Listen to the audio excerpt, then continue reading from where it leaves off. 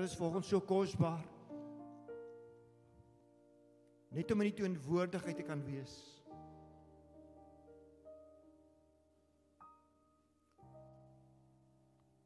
Ons ervaar so op 'n besondere wyse u liefde.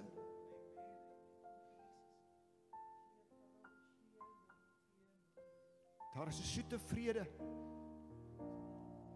Daar is 'n ongekende blydskap wat net u vir ons kan gee. En die woord sê be still and know that I'm God. Here een ding weet ons vanoggend. U is God en u is in beheer. Die onveranderlike. Gister, vandag en tot in alle ewigheid is en bly u dieselfde. En ons kom volgende as gemeente en ons wil daardie mense wat op daardie pad op Natal is, by die Vereningspas. Here wat vasgevang is in daardie sneeu en daardie koue.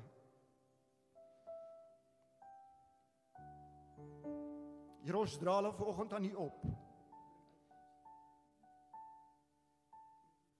U is die God wat voorsien en onderneem. Ons het vanoggend gesing van U grootheid. Ons aanbid U vir wie U is. En ek wil bid Here dat U vanoggend vir hulle sal voorsien. Here dat daar mense in daardie koue net die warmte, die teenwoordigheid en die heerlikheid van die Here sal ervaar soos nog nooit vantevore. Here dat hulle volgens sal weet, hulle is nie alleen nie. U is met hulle. U is by hulle en ons vertrou U Here dat U 'n groot werk ook in en deur en vir hulle gaan doen.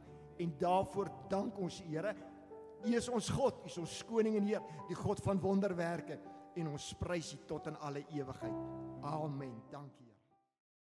Nou ja, ek wil onverwyld aangaan met die woord en vra dat as jy jou Bybel byderhand het, jy saam met my lees uit Jeremia 12.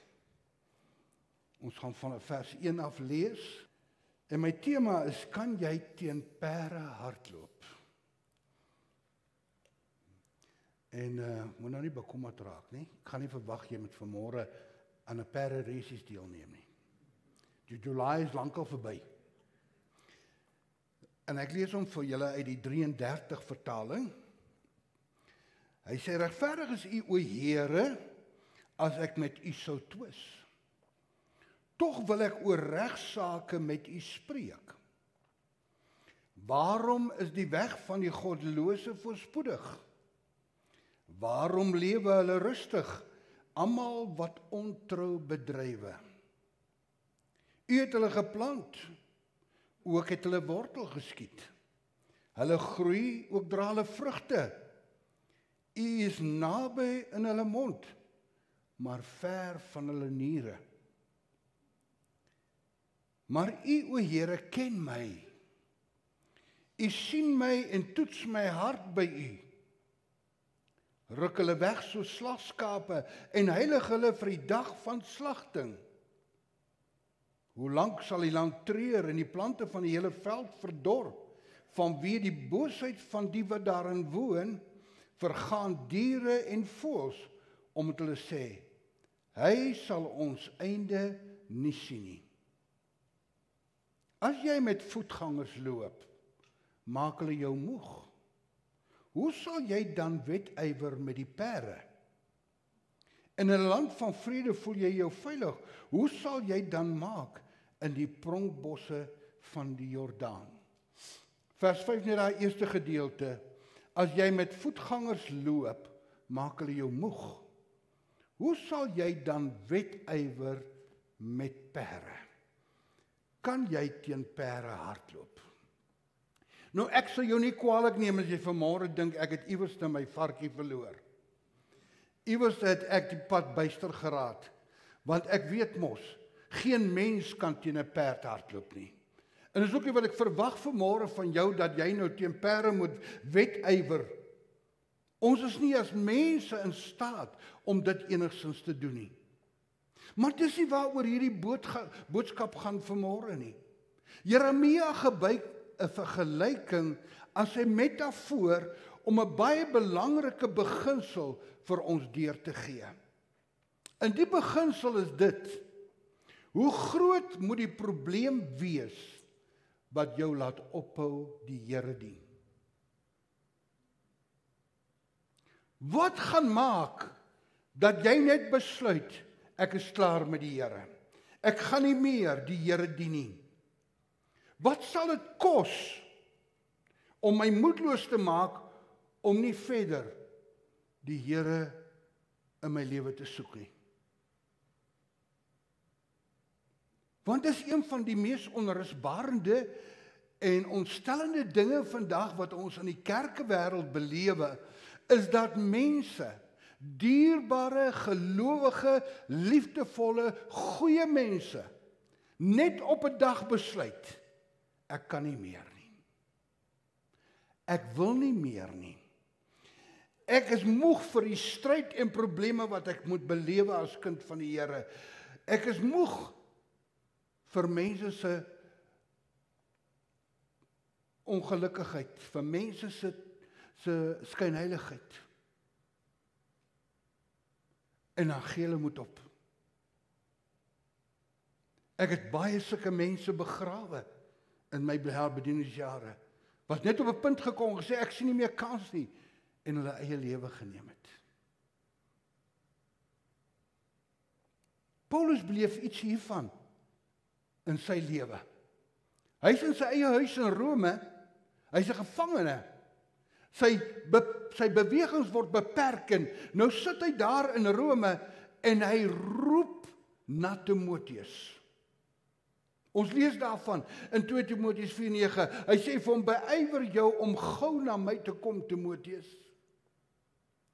Paulus is angstig op soek na Timoteus. Jy hoor amper die uh, negativiteit in Paulus se hart wanneer hy hieroor praat. Jy hoor sy verlange en jy hoor eintlik 'n noodkreet in sy hart. Timoteus kom tog gou na my toe. Een van die ander vertalings in die Bybel vir almal sê is volg Timoteus, jy moet hard probeer om gou na my toe te kom. Die nuwe vertaling 2020 vertaling sê doen jou bes om gou na my toe te kom. Jy hoor hierdie noodkreet by 'n te Paulus. Jy asof hy op 'n punt gekom het wat hy nie meer kans sien om alleen aan te gaan nie. En dan wonder jy by jouself, Paulus, wat het gemaak dat jy dan op hierdie punt kom dat jy so narstigtelik soek na Timoteus om na jou toe te kom? Dan lees jy die ver, volgende vers, vers 10 van 2 Timoteus 4. Dan sê hy hierdie woorde: "Want Demas het my verlaat omdat hy teenwoordige wêreld liefgekry het." Demas was Paulus se reisgenoot. Demas was sy was sy medewerker. Hulle het saam aan sending uitreike deelgeneem. Demas het al die wonderwerke beleef wat Paulus beleef het. Demas het al die goeie dinge belewe wat Paulus beleef het. Maar hy het op 'n dag gekom wat Demas gesê het ek wil nie meer nie. Ek sien nie meer kans vir die swaar kry nie. Ek sien nie meer kans vir die vervolging nie. Ek sien nie meer kans vir mense se negativiteit nie en hy val terug en hy verval in sonde. Hy kon nie meer saam met die perde hardloop nie. Is dit is maklik om teen mense te hardloop, maar om teen perde te hardloop is 'n ander saak. Want dit wat Jeremia wil hê ons moet verstaan dat ons altyd probleme en stryd in die bediening sal hê of in die geloofslewe sal hê. Ons sal altyd uh, Dawid sê iets daarvan in Psalm 34:20 as hy kom sê menigvuldig is die teëspoede van die regverdige maar uit die almal red die Here hom. Dawid en en en en, en Jeremia het iets verstaan van die geloofslewe wat hulle vir ons wil terugbring en vir ons wil deurgee. En wat wat Jeremia wil hê ons moet verstaan is daar's sommige probleme van 'n ligter graad wat jy in jou lewe sal belewe. Probleme wat sal wat sal, wat maak dat jy saam met die voetsoldate kan hardloop, soos wat Jeremia sê vir ons in hierdie gedeelte. Probleme wat maklik is om te oorkom, probleme wat maklik is om te hanteer. Maar dan kom jy op 'n punt wat jy probleme belewe wat bietjie swaarder weeg. Stryd beleef wat maak dat jy moedeloos word, dat jy tou opgooi, dat jy nie meer saam met die perde kan hardloop nie. Ek dink byvoorbeeld aan uh, gevalle soos jou egmaat sê sy wil skei. Een van jou geliefdes is in 'n ongeluk, ernstig beseer, selfs kritiek of selfs dood.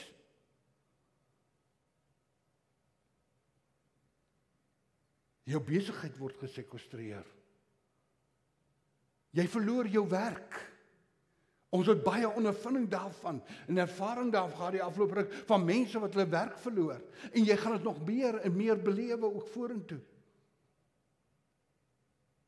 En nou is Jeremia se argument vir jou en my vanmôre, as ons nie eers die ligte stryd of probleme kan hanteer nie, hoe gaan ons die swaarder goed hanteer? Hoe gaan ons by daai punt kom wat ons kan aangaan ten spyte van hierdie geweldige stryd of probleem wat ons belewe? En dan kom gee Jeremia self vir ons 'n antwoord. En die eerste wat hy sê, kry jou fokus reg. Jy sien Jeremia het amper in dieselfde struik getrap. Hy het ook op 'n punt gekom wat hy moedeloos geword het en waar hy amper tou opgegooi het. En hy dit gebeur omdat hy sy fokus van die Here verloor het. En hy het te veel gekyk na die oënskynlike voorspoed en kommerlose lewe van die sondaars. Weet jy wat sê in Jeremia 12 vers 1? Ek sal my saak vir u stel want U is regverdig, Here. Ek sal punt vir punt my saak voor U lê. Waarom is die godlose mense voorspoedig en het die ontrou mense geen sorge nie? As ek vanmôre moet 'n opname maak en sê, weet nog nooit so 'n stelling as 'n lewe gemaak het, dan gaan daar niemand wees wat sy hand kan opsteek nie, glo ek. Ek pastoor Jacques In die bediening beleef jy dit heel wat vele kere. Jy beleef dat dat jy hierdie moedeloosheid amper in jou kom gryp as jy net kyk na hoe voorspoedig om jou gaan. Jy sien, Jeremia maak dieselfde fout as Asaf die psalmis. Asaf wat op 'n stadium ook gekyk het na die voorspoed en die oënskynlike sorgeloosheid en bekommerlose lewe van die sondaars. Hy skryf daarvan in Psalm 73. Hy sê in vers 2 en 3: "Maar wat my aangaan, my voete het amper gestruikel, my voetstappe het byna uitgegly, want ek was afgunstig op die onsinniges toe ek die voorspoed van die godlose mense sien." asof kyk na die gelose mense. Hy kyk na die sondaars en hy sien geluk, hy sien voorspoed, hy sien mense wat sorgeloos deur die lewe gaan of so lyk dit. Is dit nie wat ons ook baie keer doen nie? Ons kyk na die mense om ons, mense wat nie die Here dien of wil dien nie en dit gaan net goed met hulle. Hulle bly in hierdie pragtige huise, hulle ry hierdie mooi blink motors, hulle trek die beste klere aan en hulle is elke aand by een of ander restaurant eet hulle uit en dit lyk te lekker. My vrou sê altyd hulle oortrokke rekening is net groter as myne. Dit is die waarheid. Hy asof kyk na hulle. En amper word hy moedeloos. Hy sê dit, amper gee sy hart in en en wil hy omdraai nie meer die Here dien nie. Maar gelukkig neem God hom op 'n reis na die heiligdom. En hy wys hom hoe hierdie mense, hierdie oënskynlik sorgelose mense, hierdie sondaar se lewe eindig. Ons lees daarvan in Psalm 73 van vers 17 af. Hy sê totdat ek in die heiligdom van God ingegaan en besef het wat die uiteinde van die godlose is. U laat hulle op gare plekke loop. U laat hulle ondergang deur hulle eie geknoei. In 'n oogwink word hulle iets afgrysliks, gaan hulle ten gronde, tref 'n verskriklike einde hulle.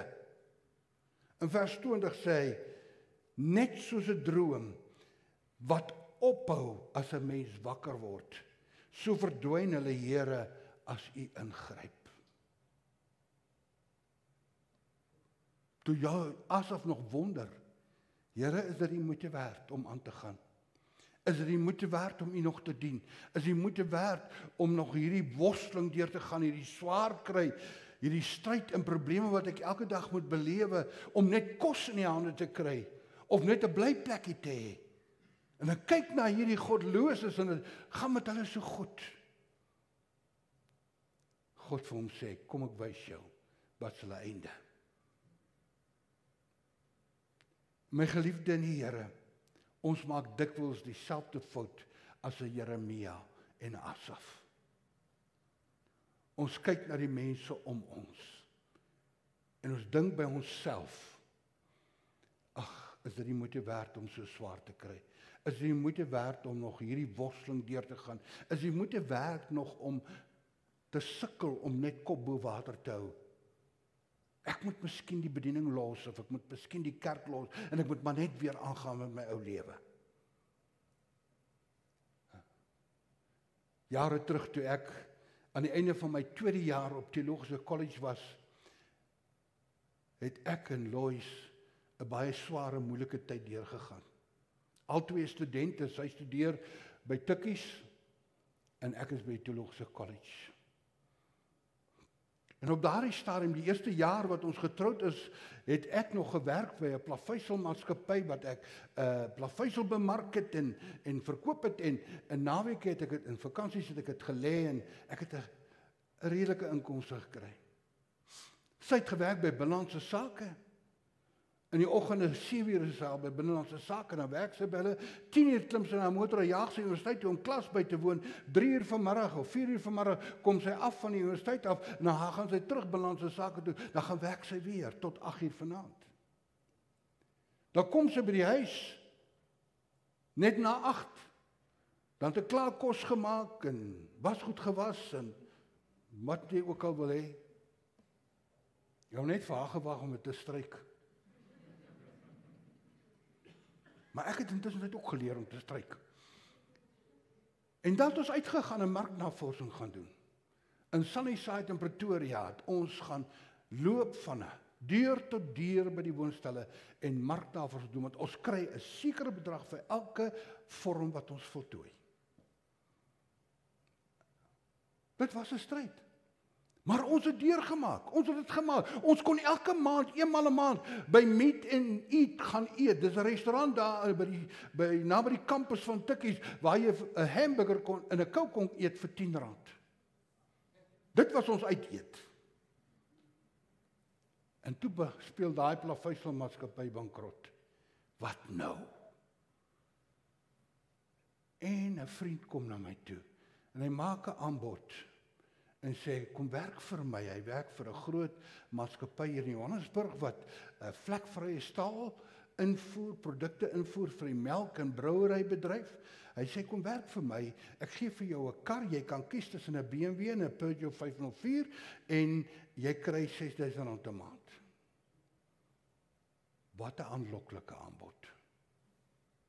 En ek begin te bid. Here asseblief, wat moet ek doen? Gee my 'n woord. Maar die Here is stoepstil. Ek gaan praat met pastoor Frank Cronje. Ek sê, "Wat sê die woord?" Ek, ek lees vir hom wat ek al gekry het. Dis nie een van hulle sê jy kan gaan nie. Blaas daai ballonnetjie net so af. En een môre is ek besig om af te sonder. En die Here praat my, Here, ag uit Hebreërs 10 25 27 wat sê die regverdige sal uit die geloof lewe. Maar as hy dit nie doen nie, behaag hy my nie. En net daar weet ek, gaan maar aan met die college. Maak klaar met jou studies. Los daai aanloklike aanbod. En weet jy wat? Die Here het vir ons altyd gesorg. Hy het ons deurgedra. Ons het elke dag kos gehad om te eet. Ons kon aangaan. Want ons het weer op God gefokus en nie besluit om om te draai nie. En dan wil ek vanmôre jou bemoedig en sê, Soms lyk dit nie die moeite werd nie. Soms lyk die stryd te moeilik om aan te gaan, maar ek wil vanmôre vir jou bemoedig en aanmoedig en sê dit bly altyd die moeite werd om die Here te dien. Dit bly altyd die moeite werd om deur jou stryd en probleme te worstel want aan die ander kant wag God met die beloning. Hy los ons nooit alleen nie. Kyk wat sê Asaf. Nou hy nou al hierdie goed ge, gebeleef het en die Here hom in die heiligdom ingeval het, sê hierdie woorde: "Tog was ek nog altyd by u, want u vat my aan die hand." Here vat ons altyd aan die hand. U lei my met u raad en aan die einde sal u my in ere by u opneem. My geliefde in die Here, daar's net een manier hoe God my en jou in ere by hom sal opneem, wanneer ons getrou bly aan ons roeping as kind van die Here. Want dis ook 'n roeping om kind van die Here stoor te wees of 'n ouderling stoor te wees of 'n ouderling te wees op die hel. Dis 'n roeping om 'n kind van die Here te wees. Dis die primêre roeping van elke gelowige. Ek dink aan Job. Wat het Job alles belewe? Hy het ongelooflike swaar belewe. Inteendeel, selfs sy vrou het op 'n stadium vir hom gesê: "Ag vloek die Here en sterf man." Sy vriende het teen hom gedraai en gesê: "Job, jy het iewers 'n sonde in jou lewe gedoen." Want sien, dit is mos die maklikste verskoning wat ons het as dit swaar gaan met mense. Jy het iewers 'n sonde in jou lewe. Hallo. En ons maak dit af. O jy het sonde in jou lewe, dis hoekom jy nie genees word nie. Jy sonde in jou lewe, dis hoekom jy nie voorspoedig is nie. Grootste klomp snert wat ons kan sê vir mense. Maar dan lees ons Job het getrou gebly aan die Here. Hy het nooit teen die Here gedraai nie. En wat gebeur met Job aan die einde van sy lewe? Herstel God hom so goed dat hy dubbel soveel terugkry as wat hy gehad het. God gee hom dubbel die rykdom terug wat hy verloor het. Hy gee hom weer kinders. Want toe sy kinders is eendag almal dood. Maar God gee hom weer kinders. As ek reg is, vyf seuns en twee dogters. Gee God weer vir hom. Omdat God nog altyd sy oog op Job gehad het. Paulus het hierdie worsteling gegaan.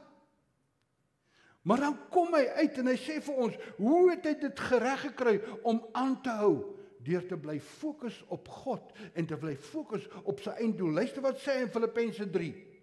Maar een ding doen ek. Ek maak my los van wat agter is en strek my uit na wat voor is. Ek span my in om by die wenstreep te kom sodat ek die hemelse prys kan behaal waartoe God my geroep het in Christus Jesus. My geliefde in die Here. Dis die pad wat ons as gelowiges moet loop. Dis hoe ons die pad moet stap. Al is die stryd hoe moeilik, al is dit dikwels so swaar om aan te gaan. Ons bly fokus op ons einddoel, want ons op pad. Toe ons dogter oorlede is, het ek geworstel by die Here en hom hoeveel keer gevra, "Waarom? Waarom? Waarom?" Hy het my net een keer geantwoord. En vir my duidelik gesê, "Waarom nie?" En toe gee my 'n vers, 'n teksgedeelte in 2 Samuel 12:23 waar Dawid gevas en gebid het vir sy seun wat hy onwettig by Batsheba verwek het. In 7 dae was die kind siek en 7 dae het Dawid gevas en nie geëet en nie gewas nie en hy wou niks weet van iets nie. En toe is die kind dood na 7 dae. En nou is sy knegte bang om vir hom te sê. Maar hy sien hulle fluister onder mekaar. Hy sê as die kind dood, hulle sê ja. Hy sê bring vir my waswater, bring vir my kos en bring vir my skoon klere. Hulle verstaan nie. Dawid hoe werk dit? Hy sê hierdie woorde in vers 23. Hy is dood. Ek kan hom nie terugbring nie, maar ek kan gaan waar hy is. Onmiddellik maak hy sy einddoel vas. Hy weet waartoe hy op pad en daarom kon hy aangaan. En my geliefde in die Here, dit is wat ons laat aangaan. Ons kyk vorentoe, soos dit Paulus van ouds. 'n Tweede beginsel wat Jeremia vir ons deurgee, bou jou krag op. En hy praat van geestelike krag. Iemand het eendag hierdie insiggewende stelling gemaak. Jy leer 'n persoon se karakter ken deur dit wat hom laat moed opgee. Jy leer 'n persoon se karakter ken teen deur dit wat hom laat ophou, wat hom laat moed opgee. Met ander woorde, hoeveel druk of hoeveel probleme sal dit neem om jou te stop en te keer om nie meer die Here te dien nie? En ons beleef dit. Ons beleef dit in gemeentes. Nou kom baie keer mense by 'n pastoor en sê: "Pastoor, ek sien nie meer kans om in die musiekspan te wees nie. Altyd heel eers by die musiekspan. Hoekom? Maar Lucifer was die koormeester in die hemel. Hy was 'n lewende lopende pyporgel as jy Jesaja 14 gaan lees. Hy het die aanbidding gelei in die hemel en toe hy homself verhef en verhoog en hy wou bo kan die Here kom en hy word uitgegooi en die eerste ding wat hy doen, hy begin om die musiek te verdraai. Ek wens ek het tyd om vir julle te ver, te te vertel hoe die musiek deur die jare evolve, verander en verdraai as gevolg van sy werke. Jy bou jou krag op deur op God te fokus. Ek dink aan Daniel se drie vriende. Salsak, Meelsak en Abel met een Abel met een oog. Sadrag, Mesach en Abednego.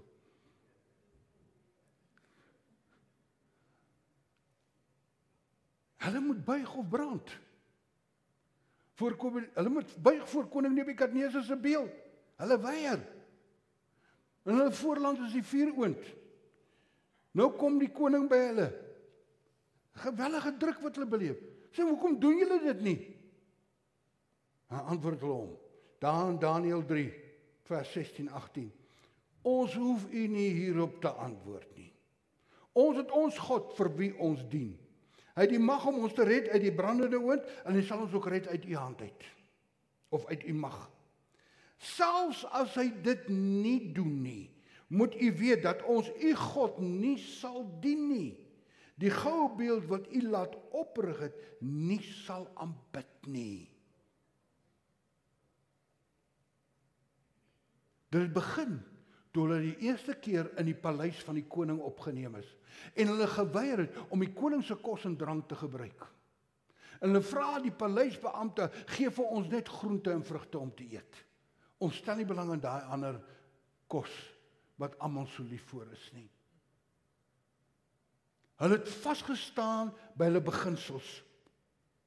En hulle was liewer vir God as vir hulle eie lewe.